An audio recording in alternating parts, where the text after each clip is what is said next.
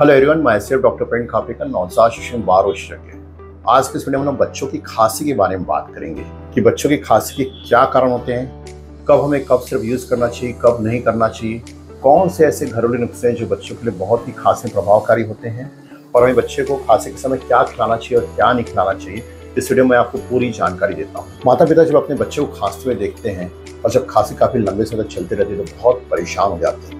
वो सोचते हैं कि मेरे बच्चे को ऐसी बड़ी बीमारी तो नहीं हो गई है। और उस समय वह बहुत सारी मल्टीपल मेडिकेशन यूज़ करते हैं एंटीबायोटिक साथ में बहुत सारे कफ सप्रेस करते हैं और सोचते किसी तरीके से बच्चे की खांसी ठीक हो जाए। पर ऐसा करना गलत होता है। आइए हम यहाँ बात करेंगे बच्चों की खांसी के बारे में। सबसे पहले हम बात करते हैं कि खांसी क्या है एक्चुअली खांसी हमारे श्वसन तंत्र का एक डिफेंसिव मैकेनिज्म है। जब कोई भी फॉरिन पार्टिकल हमारे श्वसन तंत्र के अंदर उसकी एंट्री होती है तो हमारे कफ रिसेप्टर सीधा ब्रेन को सिग्नल भेजते हैं। ब्रेन में जो है मेडुला अबलागेंटा होता है, वहाँ पर कफ सेंटर होता है और वहाँ से फिर से जो है सिग्नल जो है हमारी जो है छाती की मांसपेशी को और पेट की मांसपेशी को जाता है और फिर हमें जो है खांसी आती है। मतलब क्या होता है उसमें? लंग्स एकदम फोर्सफुल एक्सप्रेशन मतलब एकदम तेज़ी से हवा बाहर निकलती है और जो भी फॉरिन पार्टिकल बाहर आ जाता है। तो इस तरीके से खांसी एक डिफेंसिव मैकेनिज्म है। पर यहाँ पर ध्यान रखना ज़रूरी है कि अगर बच्चे को बहुत लंबे समय तक खांसी बनी हुई है, तीन से चार हफ़्ते के बाद में तो यह कुछ जो है गंभीर बीमारी का भी संकेत देती है तो यह भी ध्यान रखना बहुत ही ज़रूरी है। खांसी के दो प्रकार होते हैं ड्राई कफ होता है, वेट कफ। ड्राई कफ मतलब सूखी खांसी, जिसमें हमारे श्वसन तंत्र से कुछ भी नहीं निकलता। और वेट कफ, जैसे कहते हैं प्रोडक्टिव कफ, उसमें खांसी के साथ कुछ बलगम निकलता है, अंदर की गंदगी निकलती है तो इसे हम कहते हैं वेट कफ। खांसी को जो ड्यूरेशन के हिसाब से अर्थात कितने समय तक चल रही है, उसके हिसाब से भी दो भाग में बांटा गया है। ट्रीटमेंट करने में आसानी होती है। एक्यूट कब जो कि खांसी तीन से चार हफ़्ते तक बनी हुई, और क्रोनिक कब जो खांसी जो है चार हफ़्ते के बाद ही बच्चे में लगातार बनी हुई है। तो ऐसे कंडीशन में आपको डॉक्टर को दिखाना ज़रूरी होता है। हम सबसे पहले बात करते हैं यहाँ पर एक्यूट कप की, जो कि बच्चों में बहुत ही कॉमन है। एक्यूट कप के क्या क्या कारण होते हैं? सबसे जो कॉमन कारण जो बच्चों में है, वो है वायरल इन्फेक्शन एटमॉस में बहुत सारे वायरस है। Rhino virus influenza virus adeno virus corona virus इन सब वायरस से जब जो है श्वसन तंत्र में इन्फेक्शन होता है तो उससे खांसी आना चालू हो जाता है। उसमें जो मुख्य लक्षण दिखते हैं, आपको बुखार आएगा, दो तीन दिनों के सर्दी, छींक आएगी, गले में दर्द होगा और दो तीन चार दिनों के बाद में खांसी आना चालू हो जाती है। ये डिपेंड करता है कि वायरस से श्वसन तंत्र के किस पार्ट में इन्फेक्शन हुआ है। जैसे नोज़ में इन्फेक्शन हुआ तो उसे कहते हैं रायनाइटिस गले में फेरिंजाइटिस फिर लेरिंजाइटिस है। फिर ब्रोंकस में इन्फेक्शन से ब्रोंकाइटिस करते हैं फिर लंग्स में इन्फेक्शन हुआ तो उसे निमोनिया करते हैं। तो डिपेंड करता है कहाँ पर इन्फेक्शन हुआ है। अगर एयरवे में जो अपना एयरवे जो पाइप रहते हैं श्वसन उसमें इन्फेक्शन होता है तो ज़्यादा खांसी आती है। जैसे हम नीचे चले जाते हैं, कफ रिसेप्टर कम होते हैं तो खांसी कम आती है। नॉर्मली जो वायरल इन्फेक्शन जो खांसी होती है, वो सेल्फ लिमिटिंग होती है। दो से तीन हफ्तों में चले जाती है। काफ़ी केसेस में कुछ कुछ केसेस में जो अगर वायरल इन्फेक्शन जैसे ब्रोंकल हाइपर रिस्पॉन्सिवनेस रहा तो कभी कभी चार से छह हफ़्ते तक भी बनी हुई रहती है। दूसरा जो मेन कारण है, वो है फॉरेन बॉडी जिसे बच्चे अचानक कुछ चीज़ें खा लेते हैं, जैसे मटर का दाना है, मूंगफली है, चना है, सीताफल के बीज, और और अगर वो जो चीज़ जो है सीधा डायरेक्ट श्वसन तंत्र में चला गया है तो उसकी वजह से अचानक खांसी होती है काफ़ी बार बच्चे को सांस में भी तकलीफ़ चालू जाती है तो ऐसी कंडीशन में तुरंत डॉक्टर के पास जाना चाहिए। नंबर तीन जो बच्चे में कॉमन कारण है, वो एलर्जिक खांसी।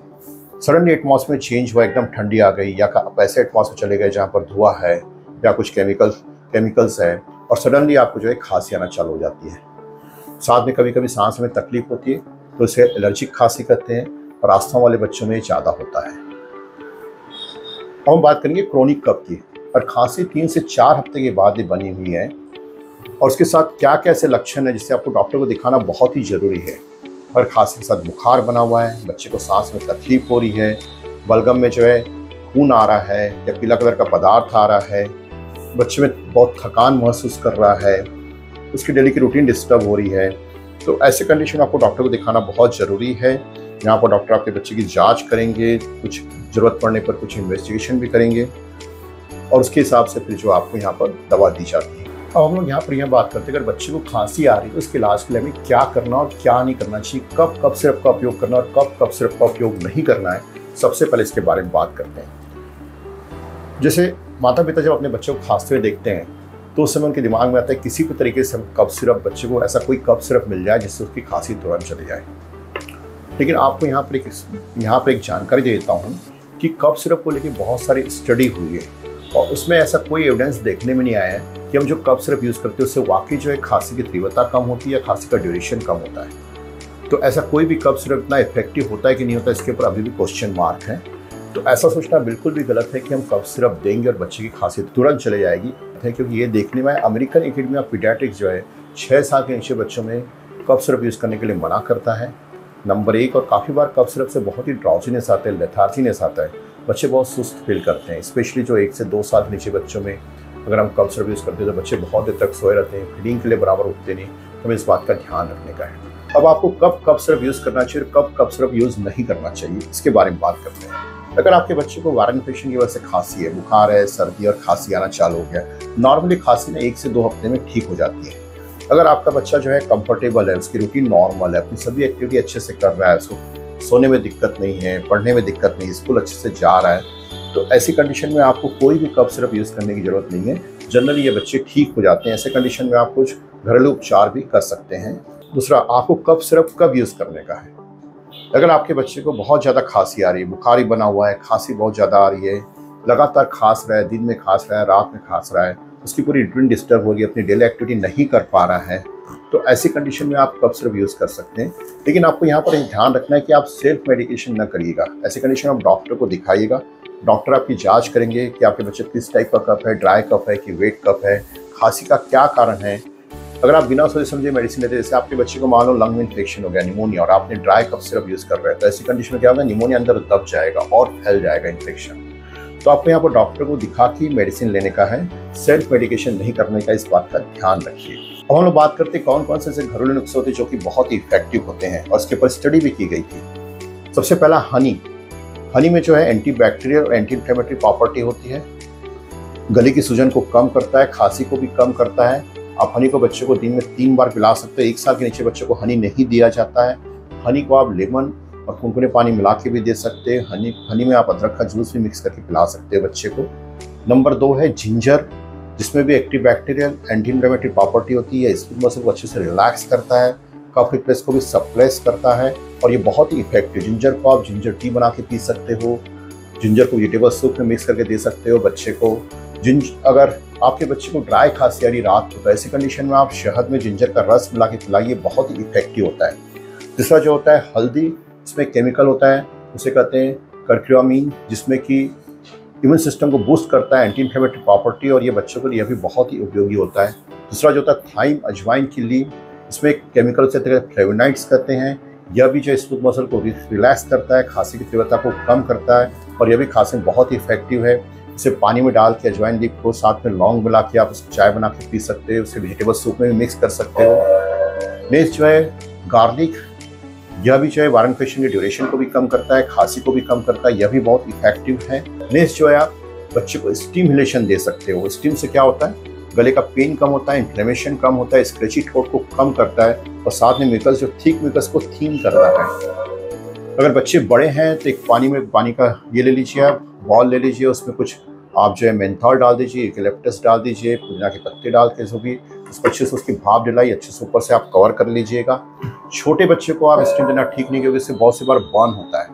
तो ऐसी कंडीशन में आपको क्या करने का है? स्टीमी एटमॉस्फेयर कर सकते हैं। क्लोज स्टीमी बाथरूम क्रिएट कर सकते हैं। इसमें थोड़ी देर के लिए आप बच्चे को रखिए या स्टीमी शावर दिला सकते हैं।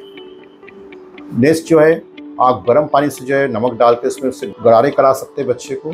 दिन में तीन से चार बार करा सकते हैं। इससे भी जो है गले का जो है पेन कम होता है और खांसी में भी इससे राहत मिलती है। छोटे बच्चों में स्पेशली एक साल के नीचे बच्चों में आप नेजल इरीगेशन कर सकते हैं।